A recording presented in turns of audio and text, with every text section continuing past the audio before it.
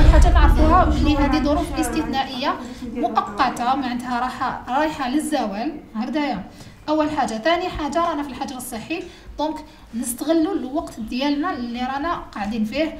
تستمر خلية الهيئة الوطنية لحماية وترقية الطفولة بتلقي الإخطارات عبر الرقم الأخضر 1111 فتح المجال للاستشارات النفسية للعائلات والأطفال ومرافقتهم بالإجابة عن تساؤلاتهم تزامنا والظروف الاستثنائية التي فرضها انتشار فيروس كورونا.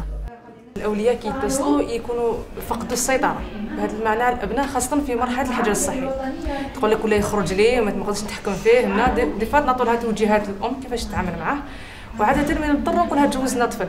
دي فات هو يحب يقرأ نعطيه نهضر معاهم.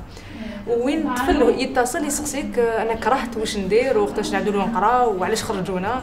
دونك العمل تاعنا حنا كإخصائيين في شبكة في خيط تلقي الاختارات هو طمانه المتصل طمانه الشعب الجزائري أنه هي مرحلة وجوز لأنه أول مرة تصرنا. تم توسيع نشاط الخلية بالتنسيق مع الهيئة الوطنية لترقية الصحة وتطوير البحث العلمي.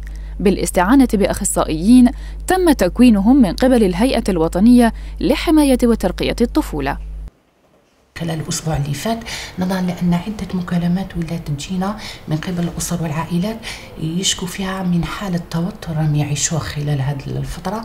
إحنا فكرنا بتعاون مع المؤسسة منا مع الهيئة الوطنية لترقية الصحة وتطوير آه، البحث أنه نستعينوا بأخصائيين نفسانيين عندهم خبرة في مجال يعني الإرشاد العائلي. كيفاش يقضوا هذا الوقت؟ كيفاش يقدروا يكتشفوا يعني مهارات الأطفال في آه في بعض العائلات بنا واش نقدروا كيفاش نشغلوا أوقات فراغ أطفالنا. يعني هي إرشادات مش متعلقة فقط غير بالتوتر لكن إرشادات تهم العائلة في هذا الوقت اللي راهم مجتمعين.